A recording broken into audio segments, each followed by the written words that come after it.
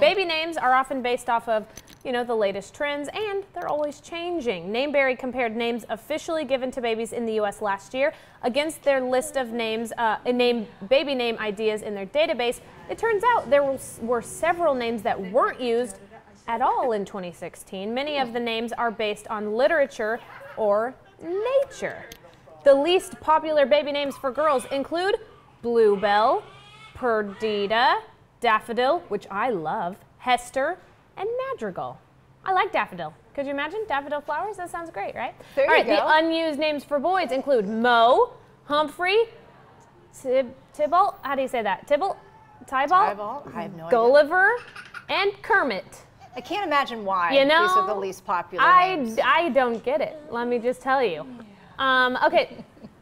Uh, so speaking of babies, remember back in the day, Natalie came into the office. She told us there was a rumor that George Clooney and his wife were expecting, and she was right. She broke I got it my finger right on here. the pulse. That's right. Yes, well, the Clooney twins are here. An email from George Clooney's publicist reads The actor and his wife Amal welcomed Ella and Alexander Clooney into their lives on Tuesday, the first children for both. The email also says the twins and mom are healthy and doing fine and jokes that George is sedated and should recover in a few days. The publicist did not share where the twins were born. That's awesome. See Yeah. that?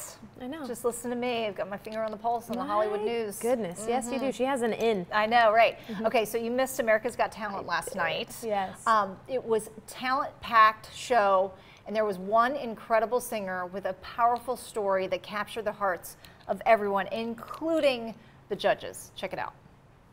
Yes, I, I lost all my hearing when I was 18 years old, Wow. And how old are you now? uh, 29. So it's 10 years. Wow. And Mandy, how did you lose your hearing, if you don't mind me asking? I have a connective tissue disorder, so basically I got sick and my nerves deteriorated. So your shoes are off because you're feeling the vibration. Is that how you're following the music? Yeah, I'm feeling the tempo, the, the beat uh, through the floor. And Mandy, what are you going to sing? I'm gonna uh, sing a song that I wrote called Try.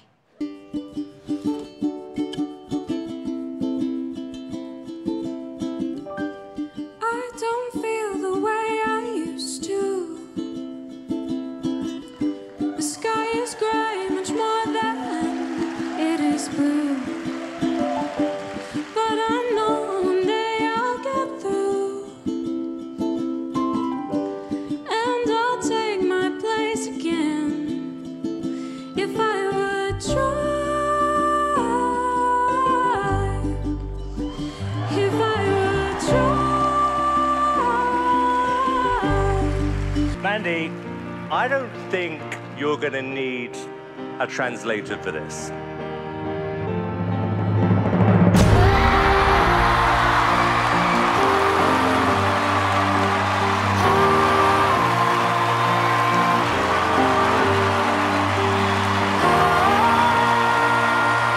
Oh, I love that. goodness, you imagine losing your hearing No, at 18? no. And she was look at her. pitch perfect. Right. Look at what How she's do you doing. do that?